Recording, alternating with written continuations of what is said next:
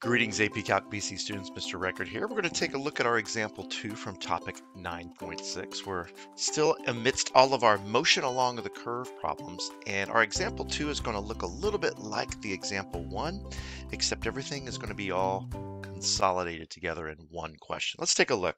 So here we go. The directions say, sketch the path of an object that moves along this plane curve given by r of t equal t squared minus 3i plus tj.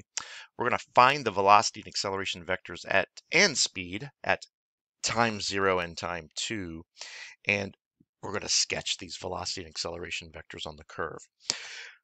So one of the first things that we're going to have to do before we even consider what the sketch of the velocity and acceleration vectors are going to look like is we do have to sketch this curve. So I'm going to go ahead and take care of that first. And there's a variety of ways to do that. Um, one way that I advocate in problems where we have a pretty simple vector function is to set up your table of values. So you have an x column, a y column, and a uh, T column, of course. Now, you're not limited to doing that. You could try to uh, present this as a rectangular equation. I don't think it would be terribly difficult to do. But by the time you get that rectangular equation, you're probably going to have to set up a t-chart for the xy, and you might as well do your t-chart right here at the very beginning. Um, in instances where you have like sines and cosines there, like we did in example one, those seem to be exceptions to this kind of a problem. So we're going to go ahead and let t be it's just some various values. There's really no rhyme or reason to what I'm choosing for t here. Just judging by the size of this coordinate plane, I'm thinking in, in, in my head that if we span our t's between negative 3 and positive 3, it's likely going to spit out enough results that most of which should fit within our coordinate plane. But if any of these don't fit, we just ignore them. And if we feel like we need more, we can try to expand our selections of t outside of negative 4 and 4. You're always welcome to plug in fractional values of t, but I would only do that if it was absolutely necessary. So when we plug negative 3 in for the x component, which is exactly what we have here, we're going to plug negative 3 in for t in the x component. And we have negative 3 squared minus 3, which is 9 minus 3, which is 6. Negative 2 squared minus 3 is 4 minus 3. Negative 1 squared minus 3 is 1 minus 3. 0 minus 3, of course. And then we're kind of back to recreating what we did before. We have 1 minus 3, 4 minus 3, and 9 minus 3. Very symmetrical. Now, as far as the y component here is concerned, well, that's a pretty easy thing to deal with because y is equal to t, and therefore we can just replicate these guys. All right, so let's go ahead and start plotting this. So we uh, take the, the ordered pair 6, negative 3, which, oh, doggone it, that doesn't want to seem to fit, does it? So we just move to another 1, negative 2 down here. Negative 2, negative 1 would look like this. Negative 3, 0 is here. We have our negative 2, 1 here. 1, 2 is right here. And that 6, 3, well, 6, 3 would be up here, and 6, negative 3 would be down here if we could fit them. But it doesn't hurt to throw them in there to kind of get an idea about what direction that we would be headed. So I'm going to try to connect these dots and do so as artistically as possible to create something here that looks pretty good and nice and smooth. And it's not a secret that you've got yourself a sideways opening parabola, no doubt about it. Now, the only thing that we haven't uh, really discussed is the orientation. And we do need to look at the progression of these t values and see how the x, y values are changing.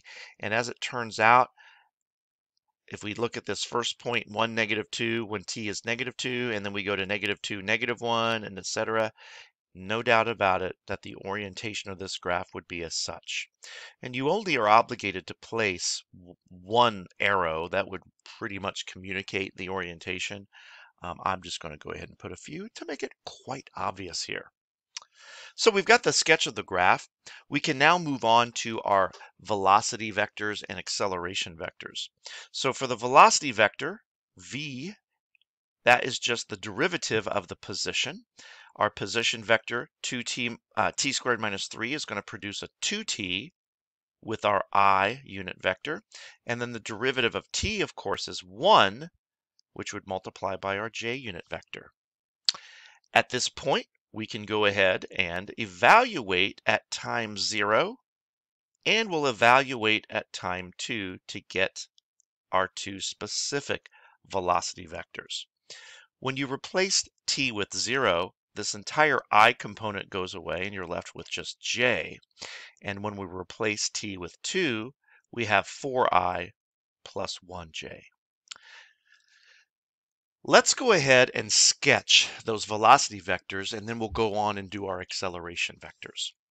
So the first thing that you're going to have to do is determine where you are on the curve at time zero. And so that is going to occur when the ordered pair was at negative 3, 0. It's nice to have this table of values as a reference. So right about there seems to be a good spot to put our t equals 0. And the fact that this velocity vector is just 1 times j is indicating to us that there is no horizontal movement, but only vertical movement upward because it's positive and one unit long. And so we would have this as our vector evaluated at zero, straight up. Over at time two, we can see that we're at the ordered pair one, two, which is right here.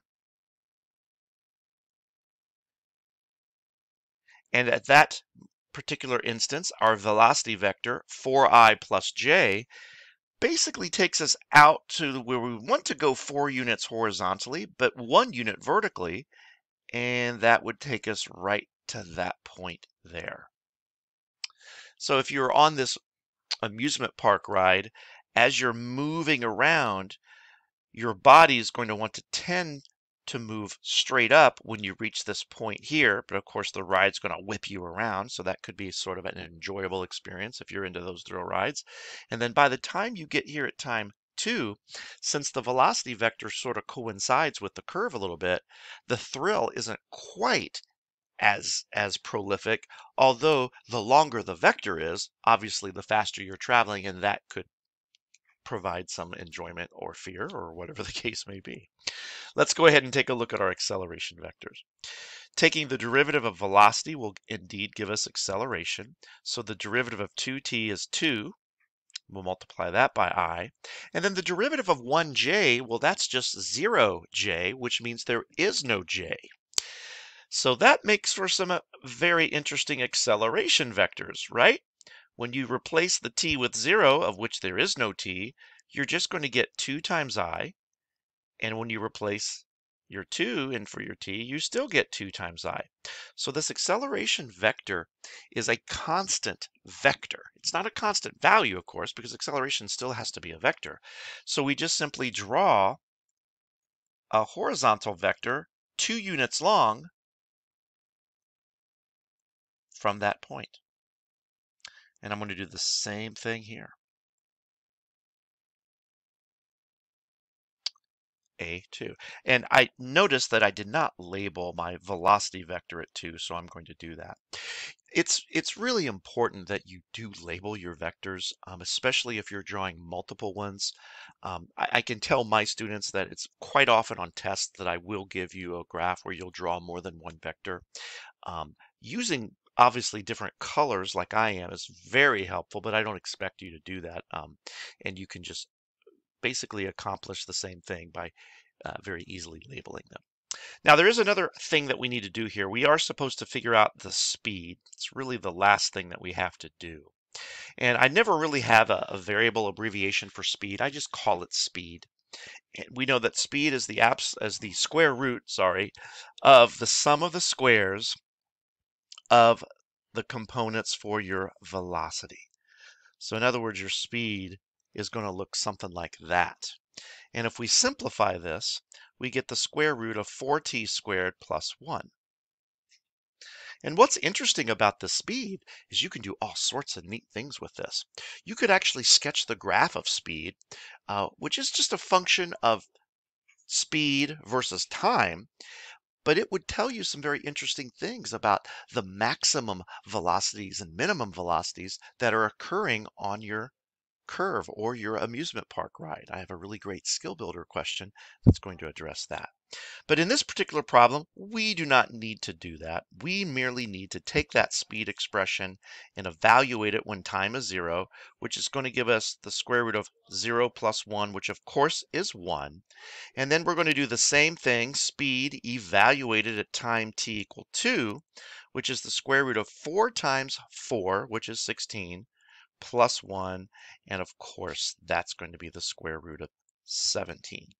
So you can see that you are traveling along this ride at different rates, at different speeds, depending on where the point is indeed located. Got a few more motion along curve problems coming up for you later. We want you to check those out. Each one's going to have just a little bit of a different twist to it. Next one up is going to require the use of a calculator, so we'll check that one out next time. Thanks for joining us, and we'll see you.